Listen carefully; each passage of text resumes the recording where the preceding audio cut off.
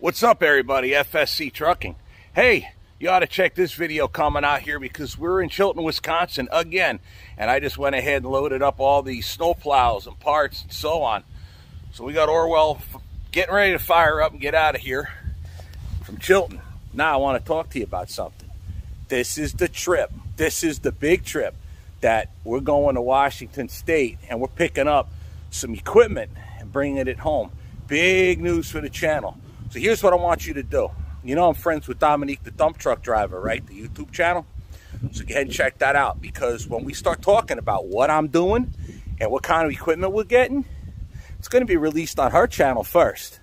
Then it's going to be me. So the idea is Tuesday we're going to do it. Hopefully Tuesday we'll release it. Dominique first, then me. Make sure you watch and subscribe both channels.